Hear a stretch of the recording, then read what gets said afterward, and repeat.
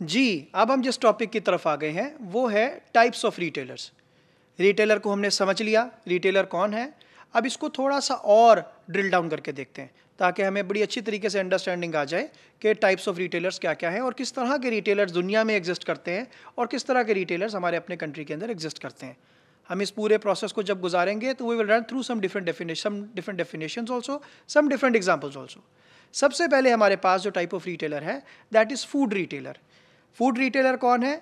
बहुत आसान तरीके से वी कैन ईजिली से दैट वो शख्स या इदारा which is selling food products to the customers ये उसकी आसान तरीन डेफिनेशन है, जिसको हम बड़े आसानी से एक्सप्लेन कर सकते हैं कि हर वो शख्स या इदारा जो फ़ूड सेल कर रहा है, वो एक फ़ूड रिटेलर है।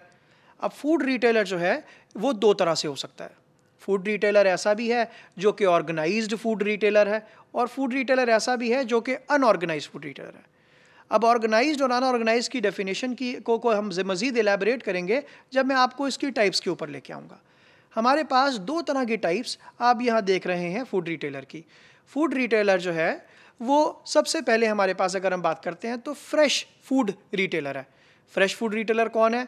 हर वो शख्स या इदारा जो कि फ्रेश प्रोडक्ट्स को सेल कर रहा है टू इट्स कंज्यूमर्स जिस तरीके से अगर कोई शख्स या इदारा मीट सेल कर रहा है अगर कोई शख्स या इदारा टू एंड कंज्यूमर को सेल कर रहा है let's say fruits vegetables dairy products इसके अलावा बेकरी प्रोडक्ट्स फ़िश तो ये तमाम वो प्रोडक्ट्स हैं जो कि फ़्रेश फ़ूड प्रोडक्ट्स हैं। तो ये फ़ूड रिटेलर जो है, ये वो शख्स या इदारा है जो कि इन प्रोडक्ट्स को एंड कंज्यूमर को सेल कर रहा है।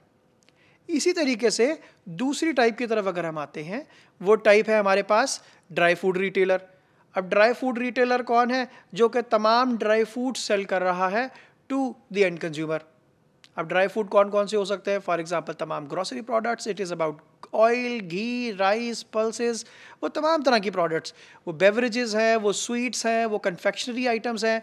तो ये तमाम प्रोडक्ट्स जो कि ड्राई फ़ूड आइटम्स के तौर पे कहलाती हैं और वो तमाम शख्स इदारे जो इनमें डील करते हैं कस्टमर्स को सेल करते हैं, वो कहलाती है हमारे पास ड्राई फ़ूड रिटेलर्स तो हमने दो तरह की एग्जाम्पल्स को डिस्कस किया, दो तरह की टाइप्स को डिस्कस किया।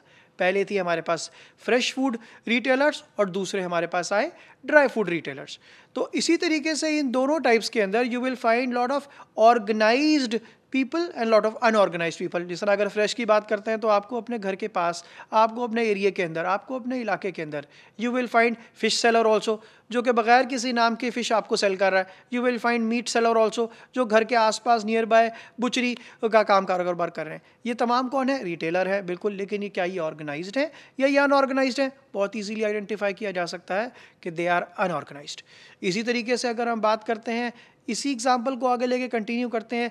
फॉर एग्ज़ाम्पल जेनत की बात करें फॉर एग्ज़ाम्पल मीट वन की बात कर रहे हैं तो ये वो ये ये वो रिटेलर्स हैं जो कि फ्रेश प्रोडक्ट को सेल करें फॉर एग्ज़ाम्पल मीट को सेल करें and they have organised setup तो अगेन इस तरह के रिटेलर्स ऑर्गेनाइज्ड फ़ूड रिटेलर कहलाते हैं। अगर हम बात करते हैं थोड़े से ड्राई फ़ूड के हवाले से तो तमाम ग्रॉसरी स्टोर्स जो कि ग्रॉसरी प्रोडक्ट सेल करें इंटरनेशनली अगर मैं इसकी एग्जांपल की बात करता हूँ तो seven eleven is one of the one of the examples इसी तरीके से अगर पाकिस्तान की बात करता हूँ तो utility store is one of the example आप देखेंगे पाकिस्तान के अंदर already there are six thousand retail utility stores तो यूटिलिटी स्टोर्स वो क्या कर रहे हैं? They are selling all what they are selling all grocery products to its consumers इसी तरीके से अगर हम CSD की बात करते हैं C S D is also one of the example जो कि ग्रॉसरी प्रोडक्ट्स को सेल कर रहा है। Again one of the food retailers है पाकिस्तान के अंदर। अगेन अब मैं आपको अगर हम इसको इलेबरेट करना चाहें, अगर हम इस सारे टॉपिक को फ़ूड रिटेलर को समराइज़ करना चाहें तो मैं आपके पास कुछ एग्जांपल्स पुटअप करने लगा हूँ। और आपने उन एग्जांपल से आइडेंटिफाई करना है कि क्या वाकई आपके पैरामीटर के ऊपर ये पूरी उतर रही है कि ये फ़ूड रिटेलर्स के ऊपर सारे लोग क्वालिफाई कर रहे हैं, जिस तरीके से अभी हमने डिस्कस किया। तो सबसे पहले अगर आपको नज़र आ रहा है मीट वन मैंने एग्जांपल ऑलरेडी डिस्कस की।